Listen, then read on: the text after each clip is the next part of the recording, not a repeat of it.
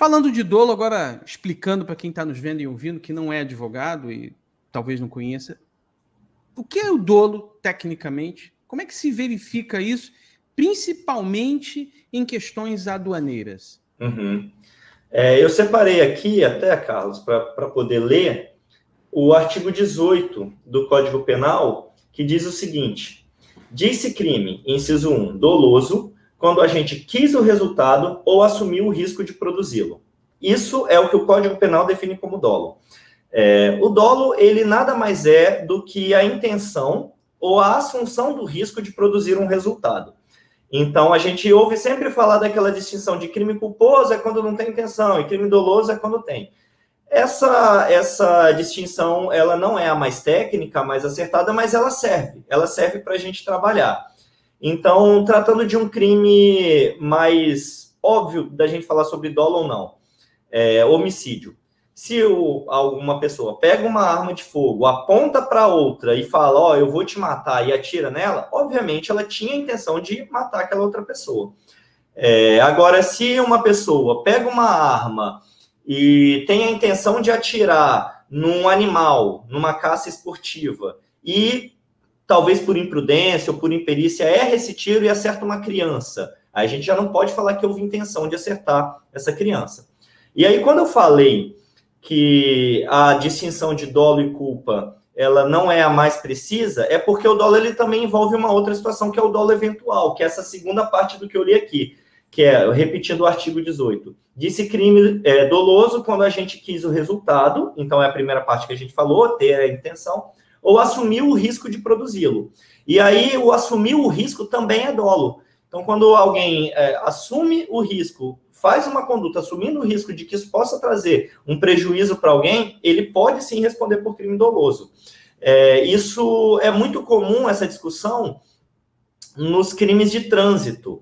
É, quando, por exemplo, esse, isso foi um debate muito forte, até aqui no Estado do Espírito Santo, por causa de um delegado que tinha muito combativo aqui nas questões de trânsito, é, sobre a questão de ingerir bebida alcoólica. Existe um tipo penal para dirigir embriagado, mas além desse tipo penal de dirigir embriagado, muitas pessoas, em caso de acidente de trânsito, quando havia ou não morte de, de outra pessoa, por atropelamento, por batida, é, dizia-se que a pessoa teria cometido crime ou tentativa é, de, de homicídio doloso na modalidade de dolo eventual, porque aquela pessoa teria ingerido bebida alcoólica e quando ela assume o volante, ela está assumindo o risco, por ter ingerido bebida alcoólica, de atingir alguém. E aí eu não vou entrar nos pontos se eu concordo ou discordo com isso, porque não é o nosso objetivo aqui.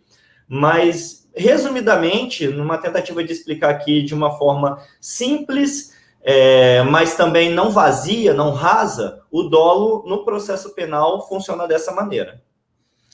É, eu fico imaginando no, no, no, comércio exterior questões, por exemplo, como uma carga perigosa que você sabia que aquele local não poderia trazer aquilo e a decisão de trazer foi sua, num porto, num aeroporto, e chega lá, acontece algum outro evento decorrente daquela ação. É, eu vejo uma proximidade muito grande de também de ser configurado um dolo, e até no caso, mal comparando aí como trânsito, um dolo eventual, porque você assumiu o risco daquele caso. E eu estou falando de cargas perigosas porque você tem produtos que parecem inofensivos, como uma motocicleta elétrica, que tem uma bateria e que essa bateria, se não for tratada adequadamente, se não tiver lá todos os controles, isso pode pegar fogo num container e olha o absurdo, pode pegar fogo num navio. Uhum. E aquelas letrinhas minúsculas lá do BL que ninguém lê aquilo, está dizendo que a responsabilidade é sua pelo problema causado. Então, uhum. parece uma coisa simples, parece uma coisa boba e que ainda tem muita gente no comércio exterior que usa a frase que eu mais odeio, que é não vai dar nada não, deixa isso, vai liberar e vai embora. Vai dar e dá. E acredite, a lei de Murphy foi criada para importação. Foi criada para importação. O dolo é algo que precisa ser tem que ter uma preocupação por parte do empresariado, porque de tudo que a gente falou aqui até agora, ele está envolvido em todas as etapas, né? Sim, sim, sim. É, vamos lá.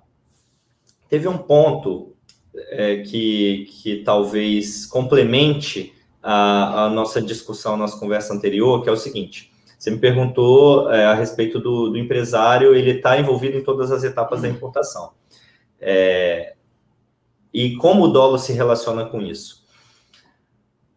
Existem alguns crimes em que não cabe a, a, a modalidade culposa. Por exemplo, é, a pessoa portar arma sem ter registro para portar essa arma na rua. O policial aborda e vê o sujeito com a arma, pede o registro, diz que não tem, pede o porte, diz que não tem. Como é que essa pessoa vai poder falar para o policial assim: ah, foi negligência minha ter saído com essa arma? Não, o tipo penal ele diz: se você está portando uma arma na rua e você não tem é, licença para isso, você está cometendo esse crime de porte legal de arma. Então não tem meios ter, meias palavras ali, meios termos. Assim funciona também como contra, com contrabando, que é um crime é, aduaneiro, com ah, o descaminho. Então, esses crimes eles só comportam a modalidade dolosa. Por isso, é necessário que seja demonstrado, tanto no inquérito quanto no decorrer do processo penal, se chegar a esse ponto, que houve intenção, sim, de causar aquele prejuízo ou de cometer alguma irregularidade. Porque se não é, for comprovada a intenção, não tem dolo. E como não cabe a modalidade culposa, não poderia haver um contrabando culposo, a pessoa deve ser absolvida, porque não foi comprovado o dolo. E aí, onde entra o empresário nisso tudo? É... Como a, a, gente retoma lá para a primeira questão que a gente estava discutindo. São muitos atores dentro de uma importação. E o empresário, geralmente, ele vai ser aquela pessoa responsável por contratar, a, por comprar a mercadoria, negociar, mesmo que não seja ele diretamente, mas o setor da empresa dele, mas ele é o responsável por aquele setor. Então, por negociar mercadoria, por é, negociar, é, contratar o despachante aduaneiro, por pagar o frete, por é, dar a procuração para quem vai fazer ali todos os trâmites burocráticos. Então, o nome dele está em tudo. Está em tudo que envolve a importação de uma mercadoria ou a exportação. Porém, só o fato do nome dele estar em tudo não significa que ele pode ser responsabilizado por tudo. E aí a gente volta naquela questão. Ser responsabilizado e ser investigado são coisas diferentes. Ele pode ser investigado e na investigação demonstrar que, olha, ele não tinha intenção nenhuma de cometer qualquer ilícito. E isso está claro foi uma situação que fugiu totalmente o controle dele, uma situação que ele não tinha como prever, uma situação como ele, que ele não tinha como evitar. Então, está óbvia a falta de intenção dele de cometer um delito. E aí, nesses casos, havendo ausência de dolo, ele vai ser, deve, pelo menos, né, ser absolvido, caso vire um processo, ou nem responder um processo. Será arquivado o inquérito e encerra-se por ali. Então, eu posso ser punido uh, mesmo quando não há dolo? Você já, acho que você já respondeu para mim. Essa é uma pergunta que eu tinha para fazer para ti. Né?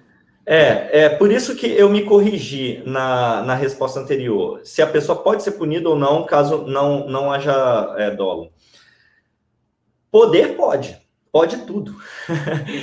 é, a gente trabalha muito no direito com o ser e o dever ser. O ser é o que acontece no dia a dia. O dever ser é o que deveria acontecer se as normas fossem respeitadas, se tudo fosse esclarecido da melhor forma, se a, a, a, a obediência à presunção de inocência, por exemplo, fosse respeitada. Então, é, posso ser condenado, ser processado, mesmo que não haja dolo? Infelizmente pode, porque isso acontece. Devo ser condenado ou devo ser processado caso não haja dolo? Não deve. E é por isso que o advogado vai atuar, para demonstrar que, primeiro, não caso não haja um indício, né? Porque, obviamente, existem casos em que existem os indícios, o crime realmente ocorreu, e aí o trabalho será diferente. Mas na, na inexistência de dolo, tá, o advogado vai estar ali para demonstrar que não existe dolo, e como não existe dolo, essa pessoa não deve responder um processo penal. Mas quem vai tomar a decisão final vai ser o delegado, o Ministério Público e o juiz. E por isso que existem recursos, existem é, é, quando o processo sobe para o tribunal, por exemplo, não vai ser só um juiz que vai decidir, mas sim três desembargadores que vão analisar aquele recurso, depois pode levar para Brasília, caso alguma coisa, alguma regrinha tenha sido descumprida, alguma regra de lei ou da Constituição.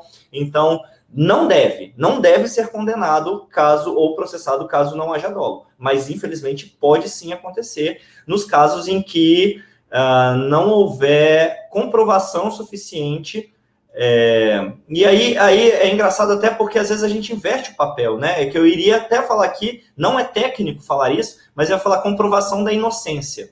É, na verdade, o que se deve comprovar é a culpa, ou dolo, ou o que quer que seja. Mas na prática a gente percebe que muitas vezes a, o ônus de provar não ter acontecido acaba recaindo sobre a pessoa que está sendo investigada e processada.